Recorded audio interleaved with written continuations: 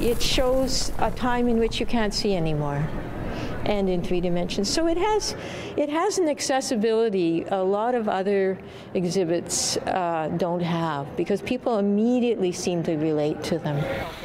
It's the art of the diorama, each piece meticulously chosen and placed. From the sketches in the wild to the last speck of paint, these can take years to complete. And Clarence Tillenius gave decades of his life to bring that outdoor experience inside. It provides us with an opportunity to, you know, interact with, you know, a big moose that quite frankly I don't want to meet in the forest, but I'm really glad to see this guy, you know, up close and personal. he was somewhat different in that he incorporated the animals right into the backdrop rather than just in front of. And you can see that it continues and gives you a much greater sense of depth than you even get in the diorama.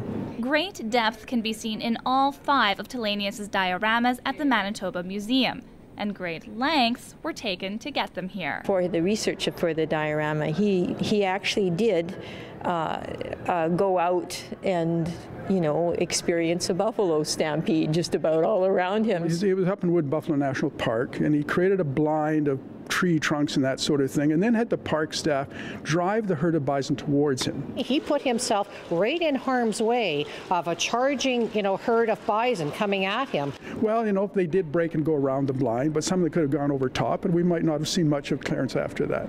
But that was the degree of the accuracy, and so when you look at the when you look at the dioramas, you look at his work, you know, you see the strain of the muscles, you see the fear of the animals, or that sort of thing. A moment later, with a sinuous roll and bulge of water, a large brown animal climbs out on the battered trunk of a stranded log and looks about him.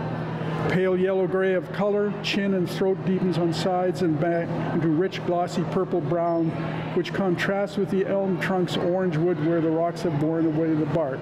Lengthy descriptions accompanied his prints, part of his passion as an educator.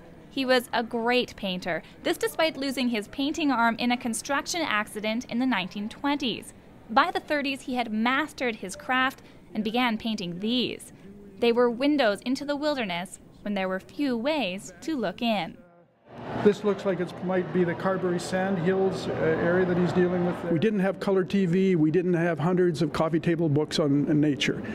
He was concerned about having people become aware of and take pride in wildlife. And so he was essentially documenting uh, a previous time or a time that was passing away. Clarence Tillenius passed away in January. Friends and colleagues want him to be remembered for the environmentalist that he was. Thousands of people came through as the school system learning to appreciate animals thanks to his work. When I see the dioramas that Clarence has produced, I very much remember the man. And uh, he was so accessible, he was so generous, he mentored so many other um, artists and, and uh, uh people who are interested in the environment. And I really appreciate the legacy. We are so honored at the Manitoba Museum to have this Clarence Tillenius legacy.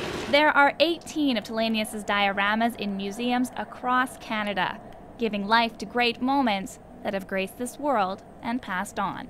For Shaw TV, I'm Kim Kasher.